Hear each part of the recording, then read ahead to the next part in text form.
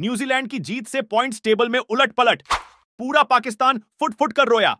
अब पाकिस्तान को सेमीफाइनल में जाना है तो करना होगा यह काम। न्यूजीलैंड ने गुरुवार को श्रीलंका के खिलाफ वर्ल्ड कप 2023 के अपने आखिरी लीग मैच में शानदार जीत दर्ज की है। श्रीलंकाई टीम इस मैच में 171 रन बनाकर ही सिमट गई थी। जवाब में न्यूजीलैंड की टीम ने 24 ओवर में पाँच विकेट गंवाकर पाँच विकेट से मैच अपने नाम कर लिया है। पहले चार मैच न्यूजीलैंड ने लगातार जीते थे, उसके बाद लगातार चार हार उसे मिली थी। अब कीवी टीम ने पांचवीं जीत दर्ज की है।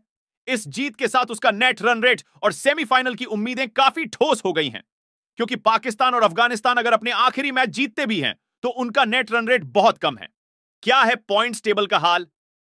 अगर पॉइंट्स टेबल की बात करें तो पहले, दूसरे और तीसरे स्थान पर क्रमशः भारत, साउथ अफ्रीका और ऑस्ट्रेलिया मौजूद है। ये टीमें सेमीफाइनल का टिकट भी हासिल कर चुकी हैं।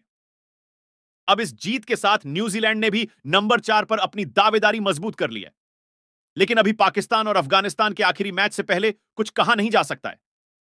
हालाँकि Kiwi team net run rate में दोनों से बेहद आगे है। न्यूजीलैंड ने यह मैच तेईस दशमलव दो ओवर में ही जीत लिया है। यानी अब पाकिस्तान के लिए सेमीफाइनल में पहुँचना बेहद मुश्किल होने वाला है। यह भी हो सकता है कि पाकिस्तान अपना आखिरी मैच जीतकर भी बाहर हो जाए। अगर पाकिस्तान को सेमीफाइनल में जाना है तो 270 रनों से जितना होगा।